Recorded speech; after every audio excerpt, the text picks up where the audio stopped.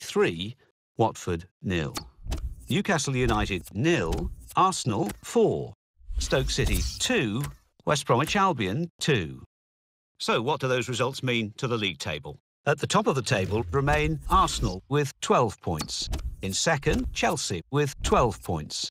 In third, Aston Villa with 8 points. In fourth, Leicester City with 7 points. In fifth, Manchester City with 6 points. In sixth, Liverpool with 6 points. In seventh, Tottenham Hotspur with 6 points. In eighth, Newcastle United with 6 points. Bottom of the table, Bournemouth with no points. And then reading up the table, second bottom, Swansea City with 1 point.